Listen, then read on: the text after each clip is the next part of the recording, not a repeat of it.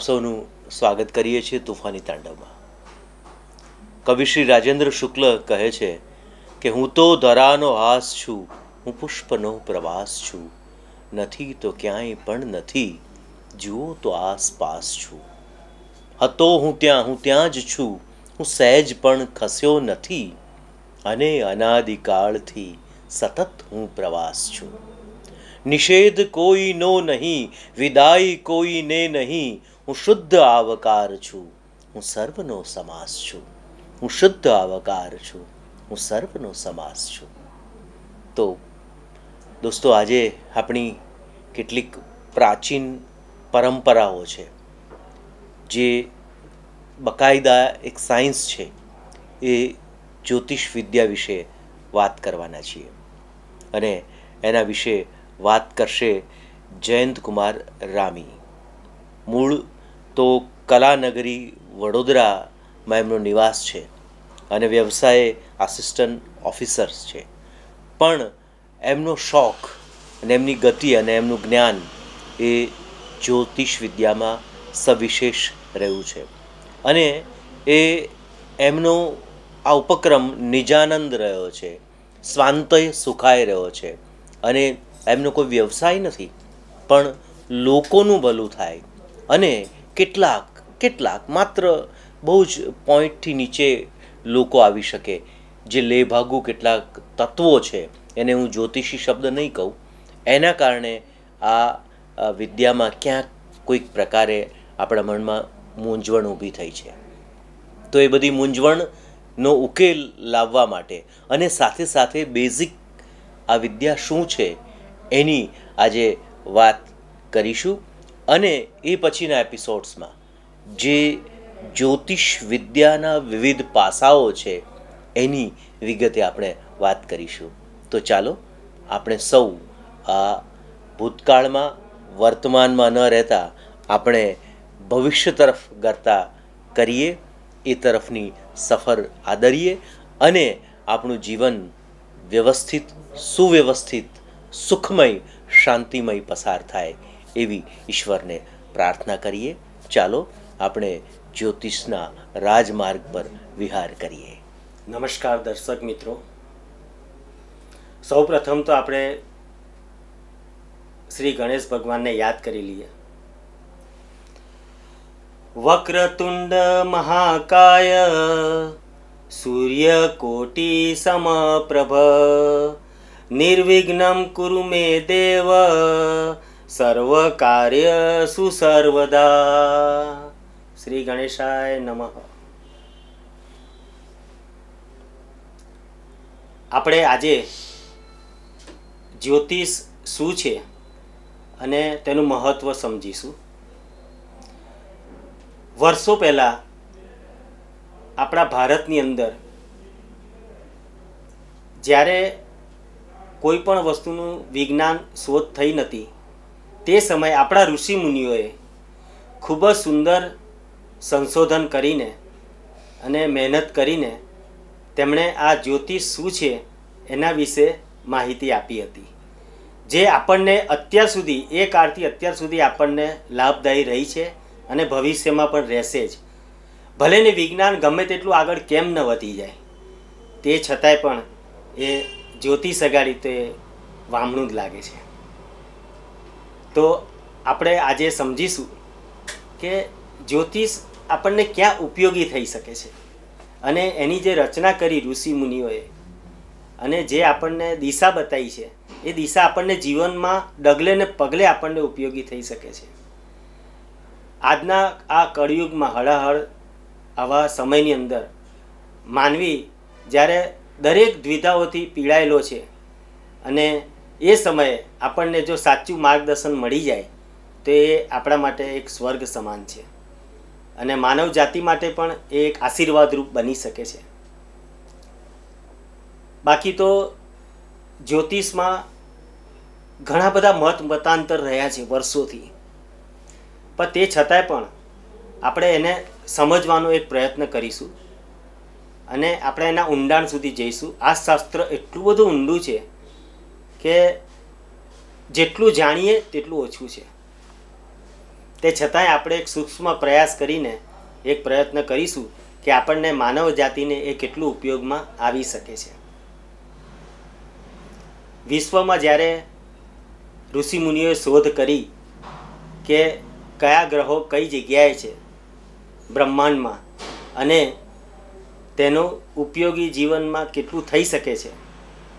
તમને એક જ એનું ઉદાહરણ આપીશ કે જ્યારે વર્ષો પહેલાં ઘડિયાળની શોધ નહોતી થઈ, ત્યારે ઋષિમુનિઓએ જયપુરમાં, જેને આપણે પિંક સિટી કહે છે, ત્યાં એક એવી રચના કરી છે કે જેનાથી તમને સૂર્ય જ્યારે ઉગે છે અને આથમે છે, તે સમયની અંદર કેટલા વાગ્યા અત્યારે તમે કહી શકો છો? એ ત્યાં બેઠા બેઠા તમે ઋષિમુનિઓ કહી શકતા હતા.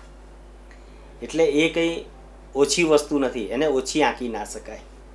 જ્યોતિષ એક શાસ્ત્ર છે, એક વિદ્યા છે અને એક વિજ્ઞાન પણ છે. જો આ ત્રણેય વસ્તુનો સમન્વય આપણે સાથે કરી શકીએ અને જો એની ફળશ્રુતિ સ્વરૂપે આપણને જે એનું પરિણામ મળશે તે એકદમ સચોટ હશે. એમાં કોઈ શંકાને સ્થાન નથી. તો જ્યોતિષ આપણને જીવનમાં ડગલે ને પગલે ઉપયોગી થઈ શકે છે.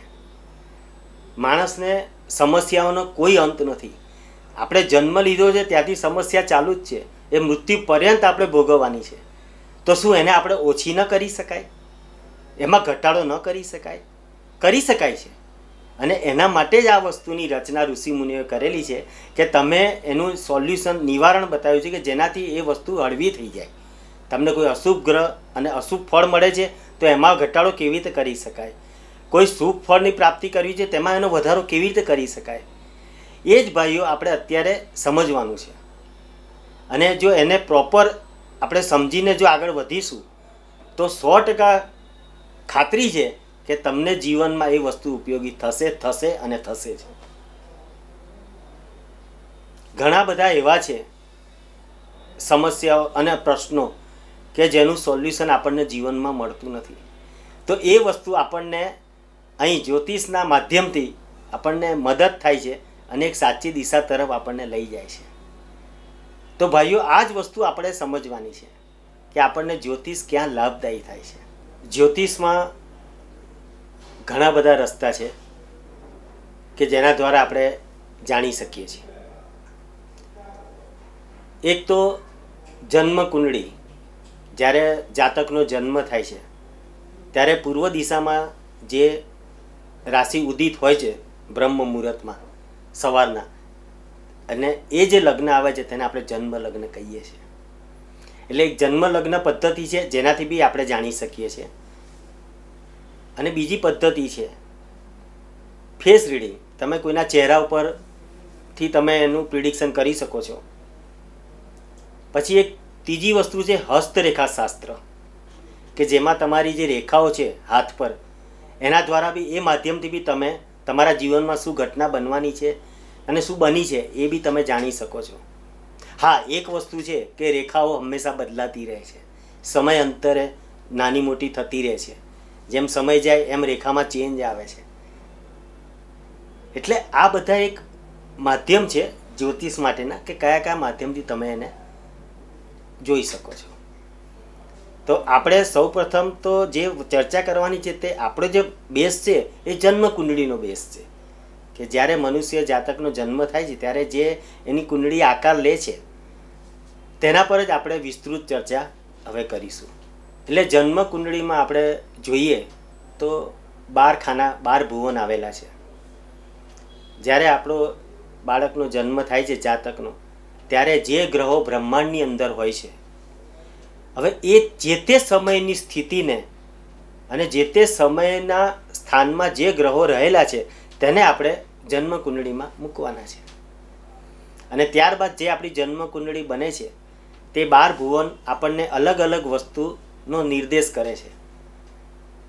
એમાં દરેક ભુવનનું અલગ અલગ ફળ હોય છે, કે આ ભુવનમાં આ વસ્તુ નિર્દેશ કરે છે, આ ભુવનમાં આ વસ્તુ નિર્દેશ કરે છે. અને આ ગણિત એટલી હદે સાચું છે, એટલું એનું પ્રમાણ છે કે ઋષિમુનિઓએ જે ગણિત વર્ષો પહેલાં કરેલું છે, હવે એ જ વસ્તુ આજનું વૈજ્ઞાન એને સ્વીકારે છે. પહેલાં નહોતું સ્વીકારતું. હવે તો વિજ્ઞાન પણ સ્વીકારતું થયું છે કે ના, જ્યોતિષ એક સાચી વિદ્યા છે અને એક સાચું શાસ્ત્ર છે. તો આપણે એના માટે વધુ જન્મકુંડળી પર જ ફોકસ કરીશું. અને એનું મહત્ત્વ આપણે સમજીશું. જન્મકુંડળીની અંદર જ્યારે આપણે આમાં આગળ જોઈશું, ત્યારે જે બાર રાશિ રહેલી છે, તેનું હું તમને સમજ આપી દઉં છું. પ્રથમ તો મેષ રાશિ છે. ત્યારબાદ વૃષભ રાશિ છે. ત્રીજા નંબરની મિથુન રાશિ છે. ચોથા નંબરની કર્ક રાશિ છે. પાંચમા નંબરની સિંહ રાશિ છે. છ નંબરમાં કન્યા રાશિ છે, સાત નંબરમાં તુલા રાશિ છે, આઠ નંબરમાં વૃશ્ચિક રાશિ છે અને નવ નંબરમાં ધન રાશિ છે. દસ નંબરમાં મકર રાશિ છે, અગિયાર નંબરમાં કુંભ રાશિ છે અને છેલ્લે અંતમાં બાર નંબરમાં મીન રાશિ છે. પરંતુ આ જેટલા રાશિના સ્વામી છે, એમાં સૂર્ય અને ચંદ્ર જ એક એવા છે કે જેને એક જ રાશિનું સ્વામિત્વ પ્રાપ્ત થાય છે. બાકી બધા ગ્રહો છે, એને બબ્બે રાશિનું સ્વામિત્વ મળેલું છે. અને રાહુ કેતુની તો વાત જ જુદી છે. એને કોઈ ગ્રહોમાં સ્થાન આપ્યું નથી, એ માત્ર છાયા ગ્રહ છે. પણ હા, એટલું ચોક્કસ છે કે જે છાયા ગ્રહ છે, એ બી જ્યારે જાતકની કુંડળીમાં કોઈ પણ ગ્રહ સાથે જોડાય છે ત્યારે તે એના ફળ સ્વરૂપે એને ફળ આપવાનો શક્તિમાન થાય છે. એટલે એની ચર્ચા તો આપણે આગળ કરીશું જ ગમે ત્યારે. પણ અત્યારે તો જે બાર રાશિ છે, એ બાર કઈ રાશિ છે, એની આપણે વાત કરી. હવે આપણે જ્યોતિષ વિશેની વધુ ચર્ચા માટે આગામી એપિસોડમાં કુંડળીનું મહત્ત્વ જન્મ કુંડળી શેના માટે છે. જન્મ કુંડળીના કયા કયા સ્થાન છે? અને એનાથી થતા ફાયદા અને ગેરફાયદા. એ બધું આપણે વિસ્તૃત ચર્ચા કરીશું આપણા આગામી એપિસોડમાં. ત્યાં સુધી આપ સર્વેની સુખાકારી ચાહું છું અને આપ સર્વેને આ પેન્ડેમિક સિચ્યુએશનમાં ઈશ્વર સર્વની રક્ષા કરે અને બધાની તબિયત સારી રાખે તેવી શુભેચ્છા સાથે વિરમું છું. આભાર.